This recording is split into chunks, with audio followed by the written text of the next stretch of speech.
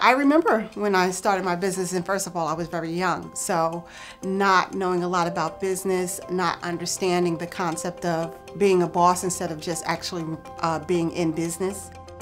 One of the things Joette talks about all the time is what you didn't know when you first began and how it would have helped me so much to be um, knowledgeable about certain things, certain systems and things like that. Anyone new to the business, anyone who's been in business for a while could absolutely benefit from being in the mastermind group and what Joette has been teaching us. If you're on the fence about whether or not you should join Mastermind, I would encourage anyone who hasn't looked into it, hasn't tried it, to give it a try. It is definitely worth it. It is an investment that will pay for itself in no time at all. And so I encourage everyone to take a look into it and get involved in Balloon Boss Mastermind.